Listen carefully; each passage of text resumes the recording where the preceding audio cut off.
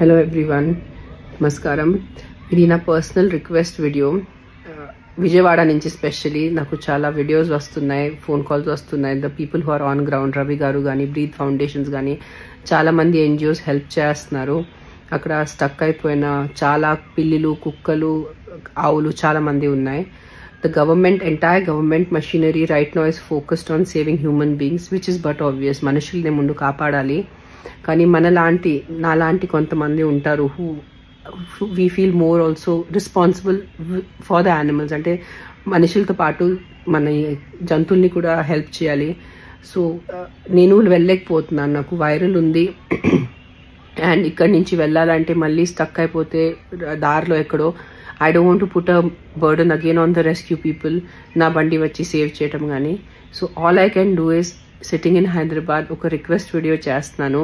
మీరు ఆ విజయవాడ విజయవాడ దాని చుట్టూ ఏరియాలో ఉంటే మీరు సేఫ్ ఉంటే మీరు చేయగలిగితే ప్లీజ్ వెళ్ళి ఆన్ గ్రౌండ్ వాలంటీరింగ్ వర్క్ చేయండి.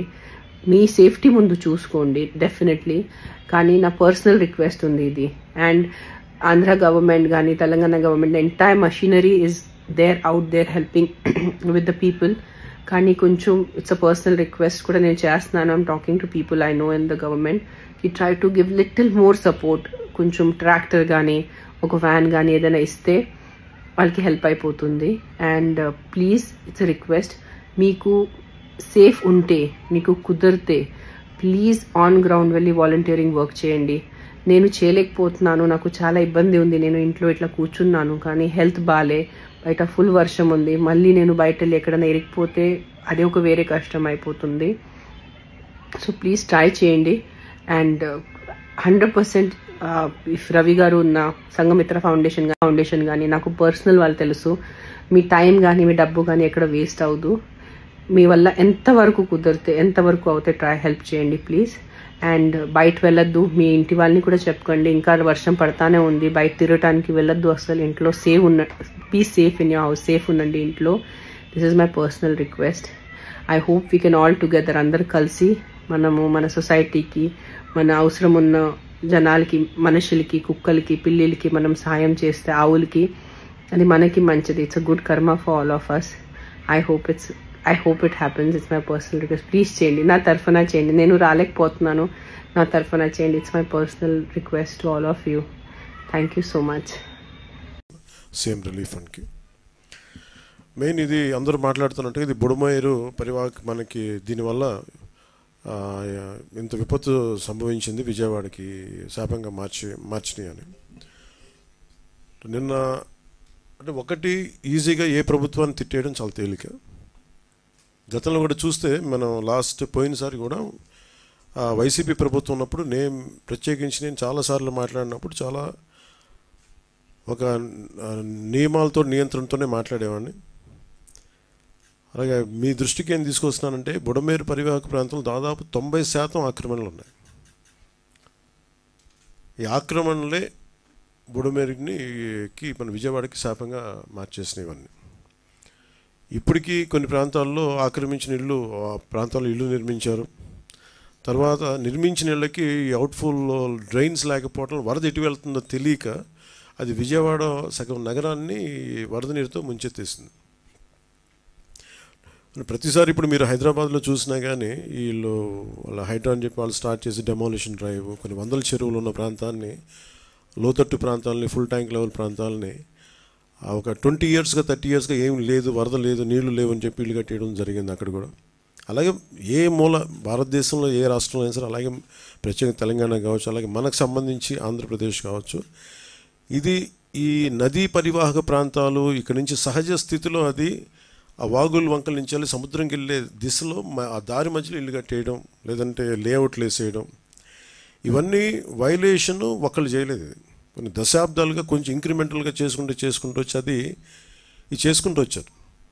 ఇది కూడా మేము అడ్డగోలుగా కూర్చోబెట్టి ఇది వైసీపీ ప్రభుత్వం వైసీపీ ప్రభుత్వం మాటలు. కాకపోతే వాళ్ళు చేసి ఉండాల్సింది. ఎంతో కొంత ఒక ప్రయత్నం కూడా చేయకుండా ఇలాంటి పరిస్థితుల్లో ఇంత సమర్థవంతంగా ఆ వయసులో ఆయన ఆయన బుల్డోజర్లు ఎక్కి అసలు చేరలేని ప్ర ప్రదేశాల్లో వెళ్ళలేని ప్రదేశాల్లో కూడా ఆయన బుల్డోజర్ ఎక్కి ఆయన పోక్లైనర్లు ఎక్కి ట్రాక్టర్లు ఎక్కి గౌరవ ముఖ్యమంత్రి గారు అది అప్రిషియేట్ చేయాల్సింది పోయి నన్ను విమర్శించడం ఇది సరైన పద్ధతి కాదు. మార్చుకోవాలి వైసీపీ నాయకులు.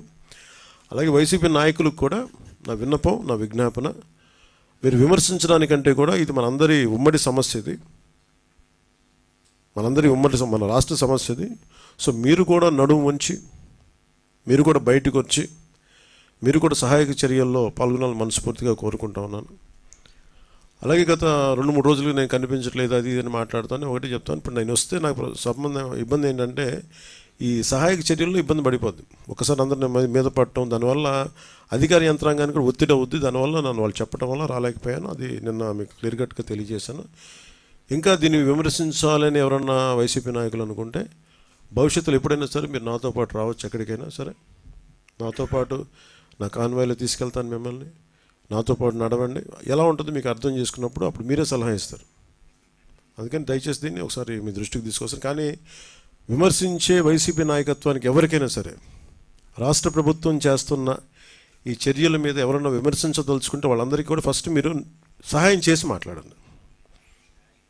మీరు సహాయం చేసి మీరు బయటికి వచ్చి మీరు మాట్లాడి ఇళ్ళలో కూర్చొని కాన్ఫరెన్స్లు పెడితే సరిపోదు. మీరు లోపలికి వచ్చి దిగండి. మనస్ఫూర్తిగా అలాంటి పరిస్థితులు అంటే మేము కూడా మీ మాతో కలిసి తీసుకెళ్తాం. అలాగే వరద ప్రభావిత ప్రాంతాల్లో ఈ నేను ఇందాక మన కాన్ఫరెన్స్ కాల్లో కూడా మాట్లాడితే ఒకటైతే చెప్పిన ఒకటి ఇమీడియట్ మెషర్స్ ఏంటి? ఈ వరద నీరు వచ్చేసిన ఇమీడియట్ మెషర్స్ ఏంటి? అలాగే భవిష్యత్తులో దీనికి ఇమీడియట్ రిపేర్ సపోజ్ రోడ్లు తెగిపోయినాయి గట్లు తెగిపోయినాయి అలాగే రోడ్లు పాడైపోయినాయి. సో వీటికి ఇమీడియట్గా అసలు జనాలకి రాకపోకలకు ఇబ్బంది కలుగుతూ ఉంటే ముందు వాటికి ఇమీడియట్ రిపేర్ చేయించడం ఒకటి. అలాగే రెండవది పర్మనెంట్ రిపేర్స్ ఏం చేయాలి? దీనికి ఎంత దాదాపు ఒక రెండు వందల కోట్లు ఓన్లీ పంచాయతీల వరకు తీసుకుంటే దాదాపు ఒక తొంభై ఆరు కోట్లు బడ్జెట్ ఒకటి ప్రతిపాదించారు. దాన్ని ముందుకు తీసుకెళ్తా ఉన్నాం. దాంతోపాటు మేము అడిగింది ఏంటంటే ఒక మన ప్రిన్సిపల్ సెక్రటరీ గారు శశిభూషణ్ గారి దృష్టికి తీసుకెళ్ళింది ఏంటంటే అసలు భవిష్యత్తులో ఇప్పుడు ఉదాహరణకి మీరు ఫారెస్ట్ డిపార్ట్మెంట్ మీరు చూస్తే నేషనల్ మీరు government of India environment forest department వాళ్ళ ఎలా ఉంటుందంటే ఇప్పుడు ఏ సారి ఎక్కడైనా సరే భారతదేశంలో ఉన్న ఏ ఇంచి అడవిలో అయినా సరే అంటే ఇంచ్ ఇంచ్ కూడా it's completely remote sensing agency ద్వారా it's completely monitored and photographed అంటే గత వారం ఎట్లా ఉంది పోయిన వారం ఎలా ఉంది రెగ్యులర్ మానిటరింగ్ ఉంటుంది. అంటే మీరు ఒక ఫారెస్ట్ డిపార్ట్మెంట్ మీరు ఫారెస్ట్ ల్యాండ్లో మీరు చిన్నపాటి ఒక పాక వేసినా కానీ it can be sense it can it will take a photograph చాలా క్లియర్ కట్గా డిమార్కేషన్ చేస్తుంటాయి. ఇది ఫారెస్ట్ ల్యాండ్ ఇక్కడ వైలేషన్ జరిగింది. అదే తరహాలో భవిష్యత్తులో ఇప్పుడు ఒక మన ఒక డ్యామేజ్ జరుగుతుంది దీన్ని అడ్రస్ చేస్తాం దీన్ని బయటకు వస్తాం. భవిష్యత్తులో ఇప్పుడు మనం ఏమనుకున్నాం ఇప్పుడు కూర్చోబెట్టి వైసీపీ వల్లనే జరిగిందని నేను మాట్లాడలా ఓకే ఖచ్చితంగా వాళ్ళు గత ప్రభుత్వం వాళ్ళు ఉన్నప్పుడు ఐదు సంవత్సరాలు వాళ్ళు ఉన్నప్పుడు వాళ్ళు నిజంగా కొంత నిర్వా జ- మనకి ముఖ్యంగా వాటర్ ఇరిగేషన్ ప్రాజెక్ట్ సంబంధించి కానీ ఏదైనా సరే వాళ్ళ నిర్వహణ లోపం చాలా వాళ్ళు సరిగ్గా డబ్బులు కూడా ఇవ్వలేదు దానికి. వాళ్ళకి అవగాహన ఉందో లేదో తెలియదు కానీ డబ్బులు సరిగ్గా ఇవ్వాలా లాకులు రిపేర్లు చేయాలా కనీసం వాళ్ళు కూర్చోబెట్టి చిన్న మెయింటెనెన్స్ ఆయిల్ కూడా ఇవ్వలేదు వాళ్ళు. ఇలాంటి పరిస్థితులు చేశారు. అలాగే మీరు అన్నమయ్య మీరు వించా డ్యామ్ కూడా మొన్న కూడా నేను మన కడపకి వెళ్తే ఆ జిల్లాలో కూడా చూస్తే వాళ్ళు చాలా నిర్లక్ష్యంగా లష్కర్ ఒక ఆయన వచ్చి చెప్తున్నాడు ఇక్కడ. మీరు ఇక్కడ వరద వచ్చేస్తుంది మీరు పట్టించుకోండి అంటే ఒకళ్ళు పట్టించుకోలేదు. ఆయన ఇండివిజువల్గా ప్రభుత్వం చేయకపోయినా అప్పుడున్న ముఖ్యమంత్రి గారు చేయకపోయినా అప్పుడున్న సంబంధిత మంత్రులు చేయకపోయినా ఒక లష్కర్ వచ్చి రామయ్య గారు వచ్చి ఆయన బయటకు వచ్చి ఆయన అందరిని అప్రమత్తం చేసి చాలా ప్రాణాలు గట్టెక్కినాయి.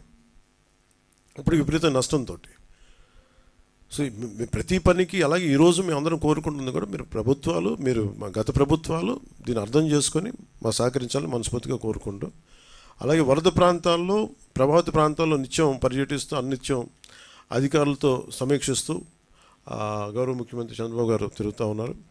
అలాగే NDR national disaster response force అలాగే స్టేట్ డిజాస్టర్ రెస్పాన్స్ ఫోర్స్ అలాగే పోలీసు అలాగే మరి నిజంగా నిన్న డిజాస్టర్ మన పైకి వెళ్తే పైన మన డిజాస్టర్ మన మన state disaster response force command సెంటర్కి వెళ్తే ఫస్ట్ టైం మీడియా ఎంత యాక్టివ్గా ఉన్నారనేది నాకు చాలా చాలా ఆనందం వేసింది.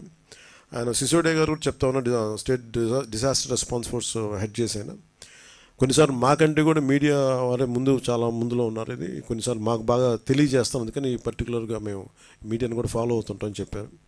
అలాగే దాదాపు ఇరవై తొమ్మిది మంది ఈ వరదల వల్ల ప్రాణాలతో చనిపోయారు మన ఇప్పుడు ఆపరేషన్ లేకుండానే మోకాళ్ళకు ప్లాస్మా ట్రీట్మెంట్. మీ ఆర్థోపెడిక్ సమస్యలన్నిటికీ రోబోటిక్ టెక్నాలజీ ద్వారా తక్కువ ఖర్చుతో శాశ్వత పరిష్కారం. Free consultation. ప్రతి ట్రీట్మెంట్ పై ట్వంటీ పర్సెంట్ డిస్కౌంట్. ఈ ఆఫర్ కొద్ది రోజులు మాత్రమే త్వరపడండి. V nine hospitals nine two eight one four six five eight four two.